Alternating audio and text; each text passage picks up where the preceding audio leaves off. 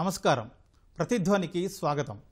దేశంలో కరోనాపై పోరాటం కొనసాగుతుండగానే బ్లాక్ ఫంగస్ వైట్ ఫంగస్ ఇన్ఫెక్షన్లు కోరలు చాస్తున్నాయి.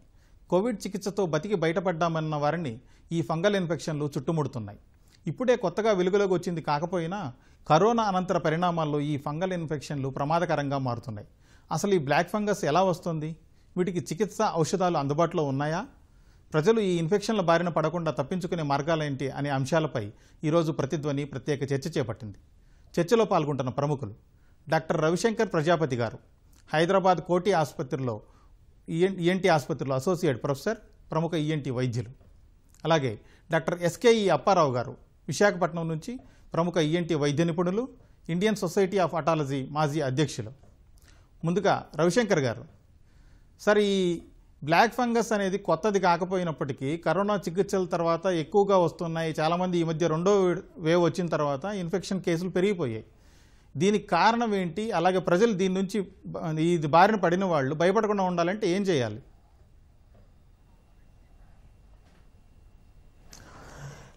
ఈ బ్లాక్ ఫంగస్ అండి బ్లాక్ ఫంగస్ దీన్ని మెడికల్ పరిభాషలో మ్యూకార్ మైకోసిస్ అంటారు. ఈజీగా అర్థం కావాలంటే ప్రజల భాషలో దీన్ని బూజు అంటారండి. మనం చూస్తూ ఉంటాం ఇళ్ళల్లో బూజు. ఇది మ్యూకార్ మైకోసిస్ ఇది ఏంటంటే ఇప్పుడు మామూలుగా మన చుట్టుపక్కల వాతావరణంలో అదేవిధంగా కుళ్ళిన పదార్థాల మీద కూరగాయల మీద మట్టిలో చెట్ల మీద అక్కడక్కడ కనపడుతూ ఉంటుందండి. అయితే మామూలు పరిస్థితులలో ఇది మనకు మనిషికి ఏమీ హాని చేయదండి. ఎందుకంటే మనిషిలో రోగనిరోధక శక్తి అంటే ఇమ్యూనిటీ ఉంటుంది. సో అది ఉంటుంది కాబట్టి అది శరీరంలోకి రాదు వచ్చినప్పుడు మనిషిని ఏమీ హాని చేసే ఛాన్స్ ఉండదు. కానీ ఎప్పుడైతే కొన్ని కారణాల వల్ల ఈ రోగనిరోధక శక్తి అనేది ఒంట్లో ఇమ్యూనిటీ తగ్గుతుందో అప్పుడు మాత్రం ఇది ఒంట్లోకి వెళ్ళి తన యొక్క ప్రభావాన్ని చూపెట్టే అవకాశం ఉంటుందండి. మామూలుగా అంటే ఇంతకుముందు హెచ్ఐవి వచ్చిన వాళ్ళు తర్వాత క్యాన్సర్తో బాధపడుతున్న వాళ్ళు అదేవిధంగా అవయవ మార్పిడి చేసుకొని స్టీరాయిడ్స్ ట్రీట్మెంట్ తీసుకుంటున్న వాళ్ళు ఇంకా ఇతరత్ర దీర్ఘకాలిక అదేవిధంగా క్రానిక్ డయాబెటీస్ షుగర్ పేషెంట్లు ఇతరత్ర దీర్ఘకాలిక వ్యాధులతో బాధపడుతున్న వాళ్ళకు అక్కడక్కడ ఇట్లాంటి అపర్చునిస్టిక్ ఇన్ఫెక్షన్స్ అంటారు వీటిని. మన చుట్టుపక్కల వాతావరణంలో ఉంటుంది కానీ మామూలు పరిస్థితులలో మనల్ని ఏమి చేయవు. ఇట్లాంటి క్రానిక్గా ఏదైనా దీర్ఘకాలిక వ్యాధులతో బాధపడుతున్నప్పుడు ఇమ్యూనిటీ తగ్గినప్పుడు మాత్రమే అది ఒంట్లోకి వెళ్ళి దాని యొక్క ప్రభావాన్ని చూపెడతా ఉంటుంది. ఇప్పుడు ఏంటంటే ఈ రోజుల్లో కరోనాలో మనం విరివిగా స్టీరాయిడ్స్ వాడుతున్నామండి. స్టీరాయిడ్స్ అనేటిది ఏంటంటే అది ఒక ఇన్ఫ్లమేషన్ తగ్గించేటువంటి ప్రక్రియ. ఒకవైపు కరోనాలో స్టీరాయిడ్స్ వాడడం వల్ల దాని యొక్క లక్షణాల నుంచి ఉపశమనం లభించినప్పటికీ కూడా అదర్ సైడ్ ఆఫ్ కాయిన్ అది ఏం చేస్తుందంటే టెంపరీగా రోగనిరోధక శక్తి అంటే రోగాన్ని ఎదుర్కొనే శక్తి ఇమ్యూనిటీని మనిషిలో తగ్గిస్తుందండి. ఈ తగ్గియడం వల్ల ఏంటంటే మన చుట్టుపక్కల వాతావరణంలో ఉన్న ఇట్లాంటి ఫంగస్లు మన శరీరంలోకి ఎంటర్ అవుతుంటాయి. ఎంటర్ అయి దాని యొక్క ప్రభావాన్ని చూపెడతా ఉన్నాయి. ఇప్పుడు జరుగుతున్నది అదే. Okay sir. అయితే మన కరోనా చికిత్స చేసేటప్పుడు అవగాహన రాహిత్యం వల్లే ఇలాంటి బ్లాక్ ఫంగస్ కేసులు ఉధృతం అవుతున్నాయని దీనివల్ల జనాల్లో చాలా భయాందోళనలు పెరిగిపోతున్నాయని అంటున్నారు.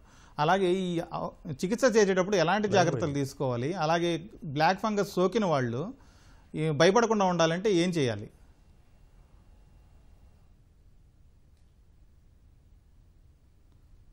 సార్ రవిశంకర్ గారు. అవునా? సార్ అప్పారావు గారు. ప్రసాద్ గారు సార్ నమస్కారం. నమస్కారం సార్. అదే సార్ బ్లాక్ ఫంగస్ కేసులు జనాలు భయపడుతున్నారు అవి భయపడకుండా ఉండాలంటే ఏం చేయాలి? అలాగే చికిత్స చేసేటప్పుడు అవగాహన రాహిత్యం వల్ల ఇలా జరుగుతోందని అంటున్నారు దాన్ని ఏం చేయాలంటారు? ఇలాంటి జాగ్రత్తలు తీసుకోవాలి. ఇప్పుడు ఈ బ్లాక్ ఫంగస్ అనే జబ్బు చాలా కొత్త జబ్బు కాదు. ఇది అంటువ్యాధి కాదు. ఇది చాలా ఇంపార్టెంట్ పాయింట్. అంటే ఈ రోజుల్లో మనం patient corona corona patient positive అయితే మన అంటువ్యాధి కాబట్టి ఎవరు అటెండ్ అవ్వడానికి కష్టం ట్రాన్స్పోర్ట్ చేయడం కష్టం అన్ని ఇబ్బందులు ఉన్న పరిస్థితి. కానీ బ్లాక్ ఫంగస్ అనే జబ్బు అంటువ్యాధి కాదని మనం అందరం గుర్తుంచుకోవాలి. ఇది ముఖ్యంగా ఇది పాచ ఇప్పుడు ఉన్న స్టడీస్ ప్రకారం అయితే మనకి అమెరికాలో చాలా తక్కువ కేసులు ఉండేవి. కానీ మన ఇండియాలో ఈ బ్లాక్ ఫంగస్ కేసులు ఉన్నాయి. గత ఇరవై ఏళ్ళ నుంచి ఉన్నాయి.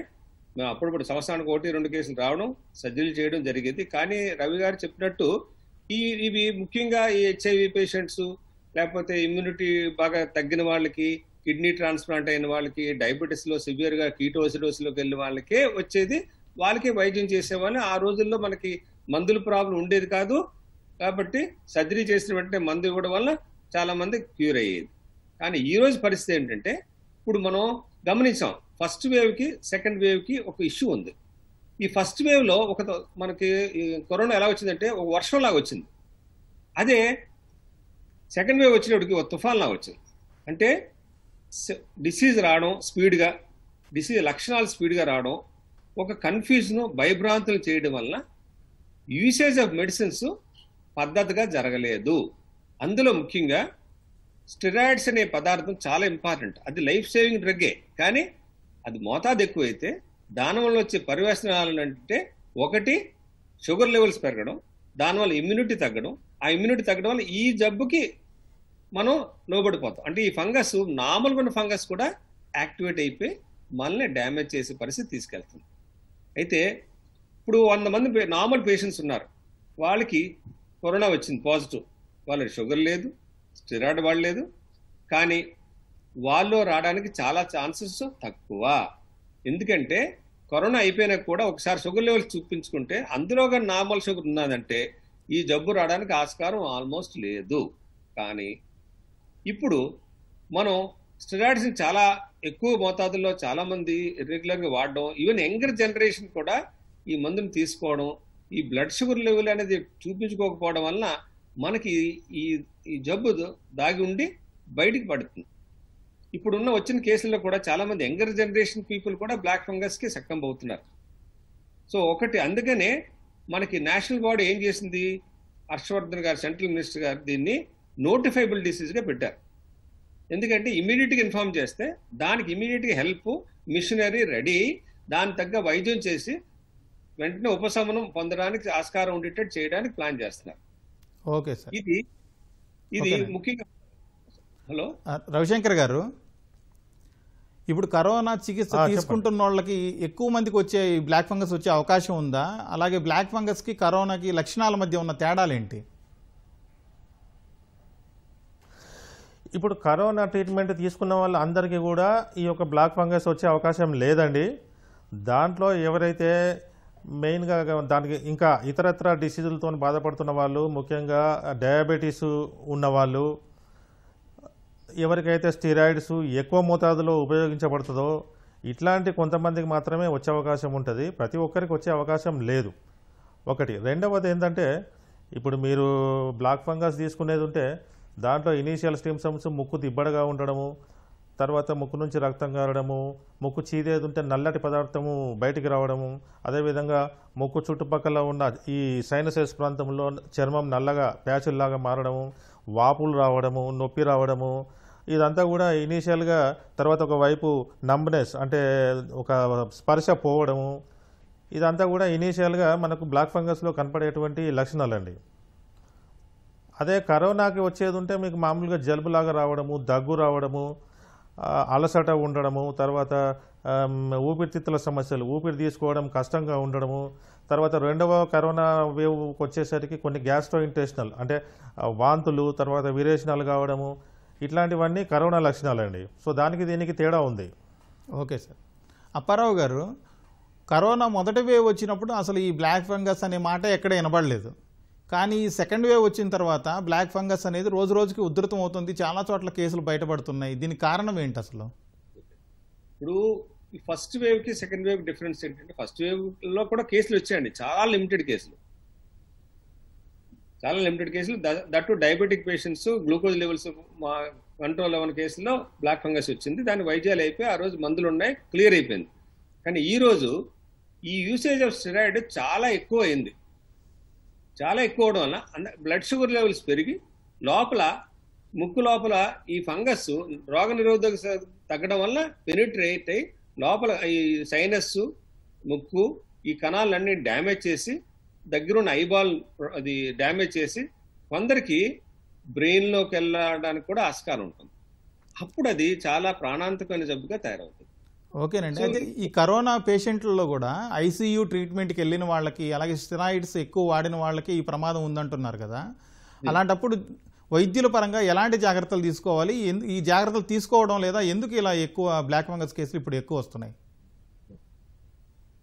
ఇప్పుడు ఈ బ్లాక్ ఫంగస్ అనే కేసులు ఎక్కువగా ఉండడానికి కారణం ఏంటంటే ఒక్క ప్లాన్డ్గా యూసేజ్ ఆఫ్ మెడిసిన్స్ అంటే కరోనా వచ్చింది కానీ షుగర్ లేదు కానీ షుగర్ ఇవ్వాల్సిన పరిస్థితి వచ్చింది అంటే షుగర్ షుగర్ ఎక్కువగా ఉండకుండా చేయాలంటే ఏం చేయాలి? స్టెరాయిడ్ యూసేజ్ చాలా కంట్రోల్డ్గా ఎథికల్గా under hospitalisation under doctor care వాడితే ఈ పరిస్థితి నుంచి అవాయిడ్ చేయొచ్చు మనం. ఇది పరిస్థితి. నెక్స్ట్ ఈ ఈ షుగర్ లెవెల్స్ పెరిగాయని ఎప్పుడు తెలుస్తుంది? నా మన ఇండియాలో అంటే చాలా మంది షుగర్ ఉన్నాదా లేదో కూడా తెలియని పరిస్థితులు ఉంటారు. కానీ కరోనా వచ్చినాక వాళ్ళకి ఈ షుగర్ రావడానికి ఛాన్సెస్ పెరుగుతున్నాయి. కానీ ప్రతి పేషెంట్ కరోనా వచ్చి పేషెంట్ ప్రతి వాళ్ళు కూడా షుగర్ టెస్ట్ చేయించుకోవడం కూడా ముందు చూపు అన్నమాట. ముందుగా తెలుస్తుంది. కరోనా వచ్చింది ఒక షుగర్ టెస్ట్ కూడా చేయించుకుంటే మనకి మంచిది. దానివల్ల షుగర్ లెవెల్స్ ఉంటే వెంటనే డాక్టర్ యొక్క సలహాతో వైద్యం చేయించుకొని షుగర్ని బట్టి రెగ్యులేట్ చేస్తే ఈ జబ్బు నుంచి ఈ మనం తప్పించుకోవచ్చు. ఇది చూడడానికి చాలా చిన్న జబ్బులాగా అనిపిస్తుంది కానీ చాలా చిన్న జబ్బే. ఈ ప్రొవైడెడ్ మనం టైం టైం ట్రీట్మెంట్ అవ్వాలి. ఒక హార్ట్ అటాక్ వచ్చింది పేషెంట్కి. వస్తే విదిన్ టూ అవర్స్లో హాస్పిటల్కి వెళ్తే తగ్గుతుందన్న అవగాహన మన అందరికీ వచ్చింది ఇప్పుడు. కానీ ఈ కరోనా విషయంలో కూడా అదే టైప్ అవగాహన మన ప్రజలందరికీ ఎస్పెషలీ హెల్త్ వర్కర్స్కి నెక్స్ట్ మెడికల్ మిషనరీ అందరికీ కూడా నాలెడ్జ్ బేసిక్ నాలెడ్జ్ ఉంటే మనం ఎర్లీగా డిటెక్ట్ చేసి ప్రివెంట్ చేసి క్యూర్ చేయడానికి ఆస్కారం ఉన్న జబ్బే. ఎటువంటి భయపడాల్సిన జబ్బు కాదు. ఇది మా పాయింట్ అండి. Okay sir. అప్పారావు గారు అయితే ఇప్పుడు దీనికి తగిన ప్రచారం లభిస్తుందా? బ్లాక్ ఫంగస్ భయపడాల్సిన పని లేదు ట్రీట్మెంట్ తొందరగా తీసుకుంటే తగ్గిపోతుంది అనేటువంటి ప్రచారం ఎక్కువగా జరగట్లేదు అనిపిస్తుంది. దీనికి సంబంధించి ప్రభుత్వాలు ఎలాంటి చర్యలు తీసుకోవాలి? ఎలాంటి ప్రచారం చేయాలంటారు?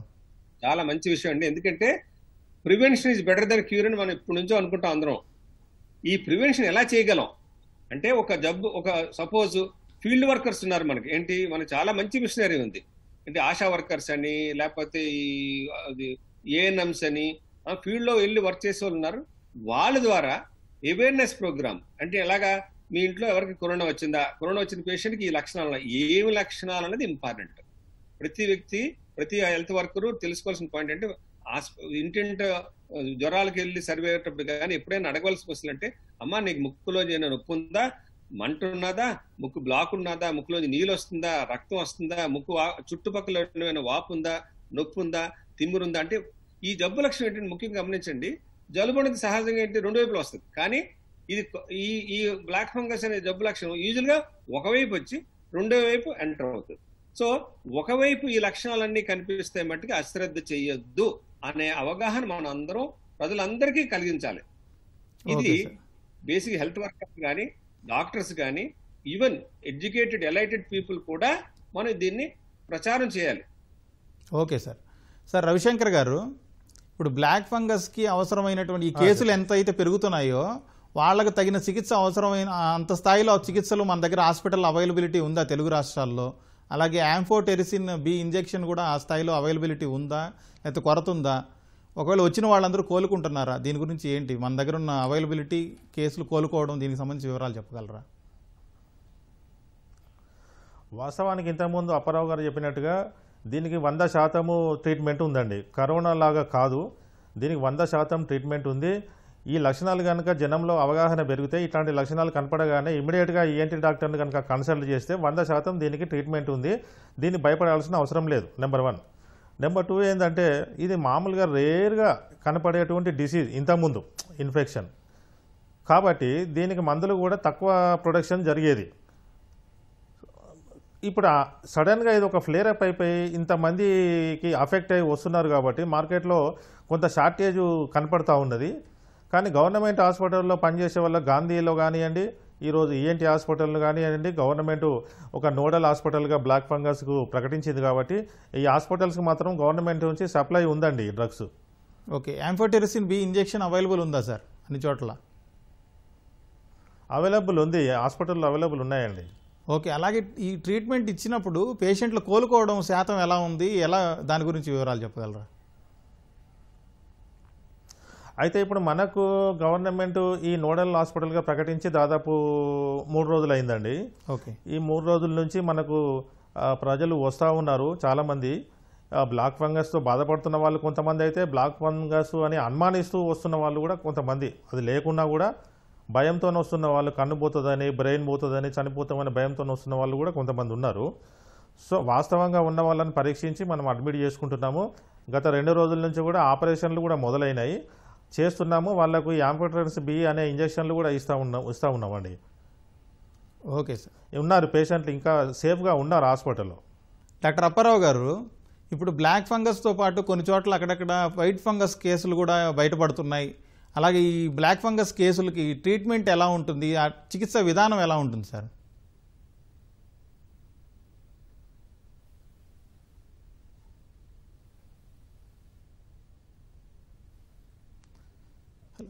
హలో డాక్టర్ రవిశంకర్ గారు.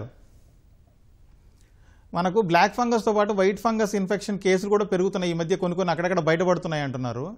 అలాగే ఈ బ్లాక్ ఫంగస్ కేసులకి ఎలాంటి ట్రీట్మెంట్ అందిస్తారు? చికిత్సా విధానం ఎలా ఉంటుంది? బ్లాక్ ఫంగస్తో పాటు వైట్ ఫంగస్ అనే మాట కూడా ఈరోజు మీడియాలో వినబడిందండి. బీహార్లో ఒక నాలుగు కేసులు ఐడెంటిఫై చేసినట్టుగా మనకు వార్తాపత్రికల్లో చూడడం జరిగింది. అయితే ఇదంతా కూడా ఇవ ఫంగస్లలో ఒక భాగమే. ఫంగస్లలో కొన్ని రకాలు ఉంటాయి దాంట్లో బ్లాక్ ఫంగస్ మ్యూకార్మైకోసిస్ ఒకటైతే క్యాండిడియాసిస్ అని ఉంటుంది. దాన్ని వైట్ అంటారు. అది కూడా మనకు సేమ్ నోట్లో నుంచి అది వ్యాపించడము అదేవిధంగా జీర్ణాశయాలకు పేగులకు వ్యాపించడము తర్వాత ఊపిరితిత్తులకు వ్యాపించడము అవసరమైతే మెదడుకు మూత్రపిండాలకు కూడా అది వ్యాపించే అవకాశం ఉంటుందండి.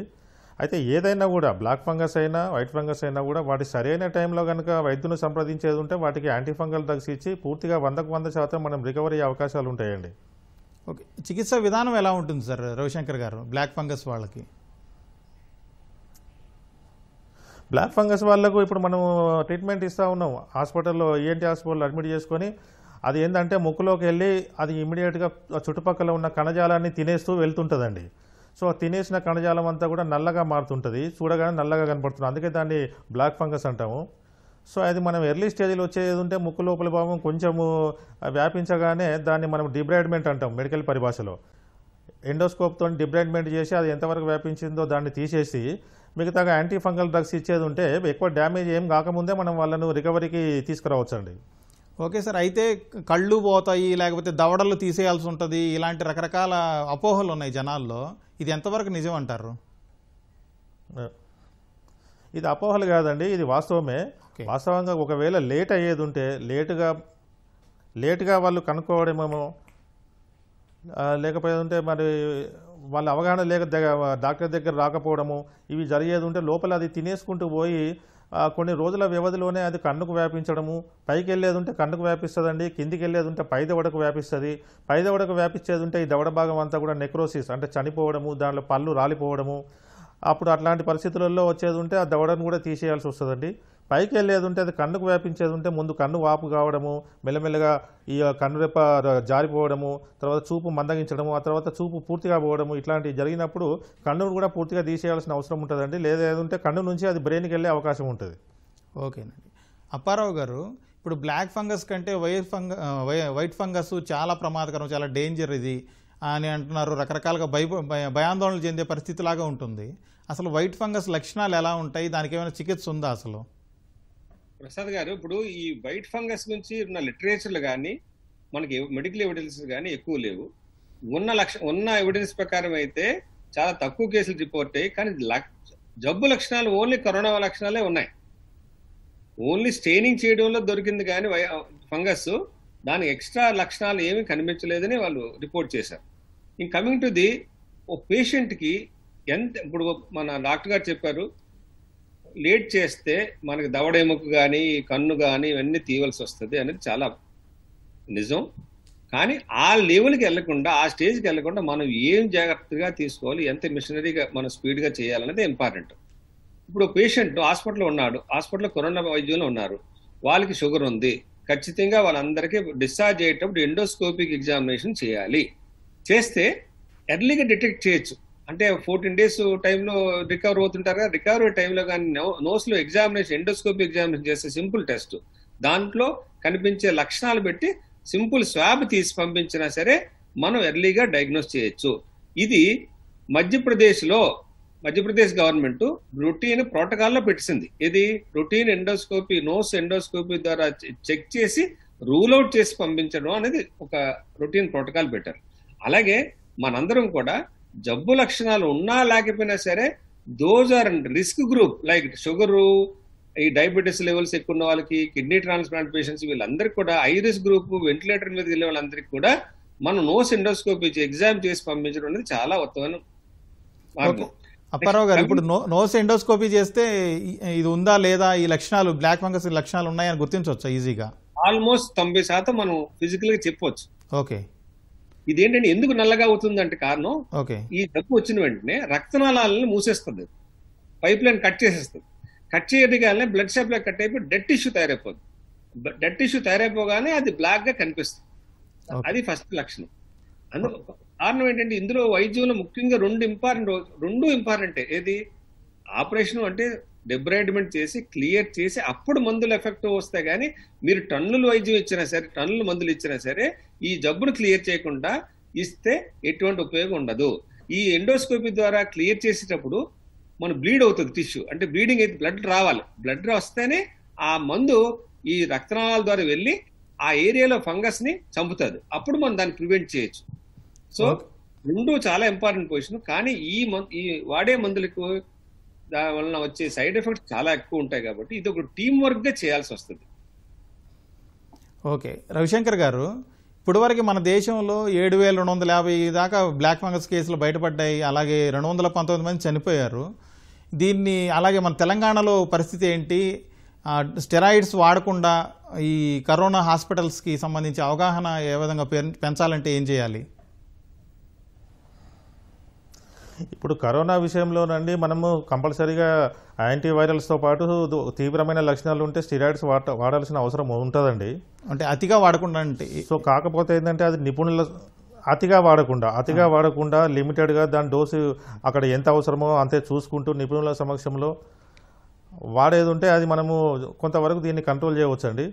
కాకపోతే ఈ ఈ షుగర్ ఎక్కువగా ఉన్న వాళ్ళలో డయాబెటీస్ ఉన్న వాళ్ళలో మరి ఈ స్టిరాయిడ్స్ వాడడం వల్ల కొంచెం షుగర్ లెవెల్స్ ఇంకా పెరిగే అవకాశం ఉంటుంది.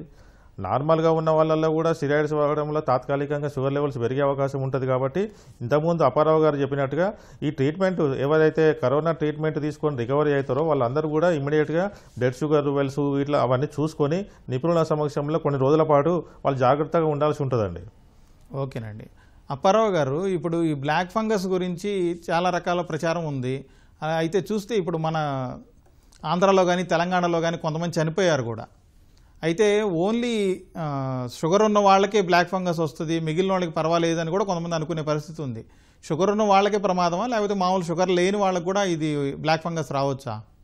ఓకే. ఇది షుగర్ లెవెల్స్ పెరిగితే మోర్ డేంజరస్. ఓకే. అంటే ఎవరు నార్మల్ పీపుల్కి రావడానికి ఛాన్సెస్ ఆల్మోస్ట్ నిల్లండి ఓకే. షుగర్ లెవెల్స్ అల్టిమేట్ అన్నమాట. ఫోర్ హండ్రెడ్ లెవెల్స్ కానీ మెరిగే పెరిగాయంటే chances of black fungus are very high అలాగా ఈ కిడ్నీ ట్రాన్స్ప్లాంట్ పేషెంట్ ఉన్నారు హెచ్ఐవి పేషెంట్ ఉన్నారు. HIV patient is highly risky black fungus almost ninety percentage mortality HIV పేషెంట్కి ఈ black fungus వస్తే నైన్ పది మందిలో తొమ్మిది మంది చనిపోవడానికి ఆస్కారం ఉంది సార్. కాబట్టి ఎర్లీ డిటెక్షన్ అంటే వాళ్ళని స్పెషల్ రిస్క్ గ్రూప్ కింద చూసుకుంటూ. బ్లడ్ షుగర్ చూస్తుంటాం చెక్ చేస్తుంటాం. మందులు ఇస్తుంటాం. అలాగే ఈ ఫంగస్ ఉందా లేదా ఫంగస్ ఉందా లేదా అనే క్వశ్చనేర్ కూడా రోజు ఉండడం మంచిది. డిశ్చార్జ్ అయ్యే పేషెంట్కి ఒక క్వశ్చనేర్ ఇవ్వాలి. ఈ ఈ లక్షణాలు ఉన్నాయా? లేవు. ఈ లక్షణాలు డెవలప్ అయితే ఇమీడియట్గా మీ దగ్గర ఉన్న డాక్టర్ చూపించుకొని అక్కడి నుంచి ఈఎన్ డాక్టర్ గారు వెంటనే వెంటనే చూపించుకోండి. అంటే గంటల నుంచి రోజుల లోపల మీ ఎన్ని చెకప్లు అయితే మనం ప్రాణాపాయ పరిస్థితిని తప్పించుకోవచ్చు. ఓకే అప్పారావు గారు లాస్ట్ క్వశ్చన్ అండి. కొంచెం బ్రీఫ్గా చెప్పేసేయండి. బ్లాక్ ఫంగస్ విషయంలో ప్రజల్లో ఉన్న అపోహలు తొలగిపోవాలంటే ఏం చేయాలి? అందరిలో చైతన్యం వచ్చి త్వరగా చూపించుకునేలాగా చేయాలంటే ఏం చేయాలంటారు? ఓకే. ఇప్పుడు మన అందరికి అవగాహన రావాలంటే ఈ వేదిక వేదికలు నెక్స్ట్ గ్రూపులు వాట్సాప్ గ్రూపులు నెక్స్ట్ బేసిక్గా వర్కర్స్ మన ఆంధ్రప్రదేశ్లో ఉన్నారనుకోండి వాలంటీర్స్ ఉన్నారు గ్రామ వాలంటీర్స్ ఉన్నారు. వాళ్ళని ఎడ్యుకేట్ చేయాలి. ఎడ్యుకేట్ చేస్తే గ్రామ వాలంటీర్ ఇప్పుడు ఫీవర్ సర్వీస్కి వెళ్ళారు అక్కడ అడుగుతారు ఇంట్లో మీ ఇంట్లో ఎవరికైనా జ్వరం వచ్చిందా? మీ ఇంట్లో కరోనా వచ్చిందా? కరోనా వస్తే వైద్యం చేయించుకున్నారా? చేయించుకుంటే ఈ లక్షణాలు ఎవరికైనా ఉన్నాయా? లక్షణాలు ఉంటే వెంటనే మనం డాక్టర్ గారు చూపించాలి అని ఫాలో అప్ అవ్వాలి. అంటే ఇప్పుడు ఈ సం- ఈసారి సెకండ్ వేవ్లో విలేజ్ పాపులేషన్ ఎక్కువ ఎఫెక్ట్ అయ్యారు కాబట్టి మనం అక్కడ బేసిక్ హెల్త్ వర్కర్స్ని మనం ఎడ్యుకేట్ చేసి అవేర్నెస్ క్రియేట్ చేసి వాళ్ళ ద్వారా మన ఇన్ఫర్మేషన్ వాళ్ళ ప్రజలకు పాస్ ఆన్ చేసి ఎర్లీగా హాస్పిటల్ వచ్చి సలహా తీసుకొని. సలహా తీసుకుని దాన్ని బట్టి వైద్యం చేయించుకుంటే దీన్ని బాగా నివారించవచ్చు. ఓకే అప్పారావు గారు. బ్లాక్ ఫంగస్ సోకుతుందని కరోనా పేషెంట్లు అందరూ భయపడాల్సిన పని లేదని అలాగే షుగర్ ఉన్న వాళ్ళకి ఆల్రెడీ ఇతరత్ర జబ్బులు ఉన్న వాళ్ళకి అలాగే స్టెరాయిడ్స్ ఎక్కువ వాడిన వాళ్ళకి మాత్రమే బ్లాక్ ఫంగస్ సోకే ప్రమాదం ఉందని నోస్ ఎండోస్కోపీ ద్వారా బ్లాక్ ఫంగస్ని సులభంగా గుర్తించవచ్చని అందరూ అవగాహన ఏర్పరచుకుంటే ఈ మహమ్మారి నుంచి భయపడవచ్చని ఈఎన్టీ వైద్య నిపుణులు చెబుతున్నారు. ఇది ఇవాళ ప్రతిధ్వని. నమస్కారం.